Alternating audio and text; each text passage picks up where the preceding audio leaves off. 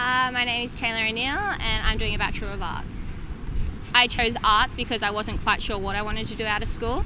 I knew I wanted to be in the PR or journalism uh, side of it, but I wasn't sure which one I wanted to do. So for me, arts has been a really good uh, transition into, into one of those. I've decided now that I want to do PR um, from the courses I did this year, but I think you just have to think about what you're good at, what you're interested in, and just go from there.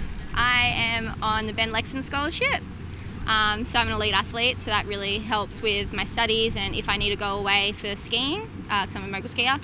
So if I need to go overseas or go down to the snow for training, uh, the scholarship is really helpful and all the people in the scholarship office, they allow me to miss class and get extensions on school, on university work and um, yeah, it's been really great.